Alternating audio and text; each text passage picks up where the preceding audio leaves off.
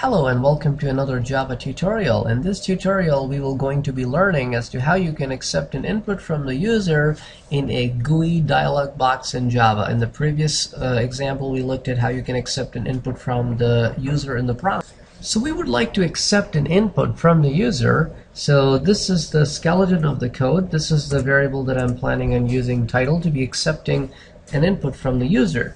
In order to accept an input, in Java, using a GUI dialog box, we take help from the same class that we learned earlier about.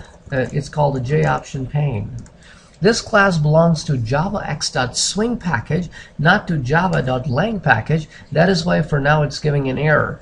But as soon as you go under source and organize your imports, you'll be able to fix it, but right after we complete some of this text. So we're using show input dialog box.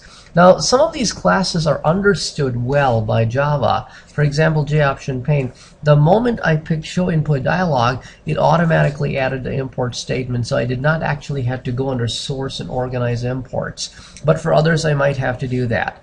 The first parameter is null because this is not associated with any window. The second parameter is the statement or the question or the prompt message that I would like to give to the user. So enter your title. Now let's run this program. This is what the output of show input dialog box is. So as soon as I enter the title here and click OK, the title goes in the title string variable and that gets to display on the prompt. And using the JOptionPane show message dialog, I could actually be displaying this output back on the screen in the form of a dialog box. So this is how you can be accepting a string as an input. In the next tutorial, we're going to be exploring how you can accept an integer as an input. Thank you for watching the tutorial. Catch you in the next one.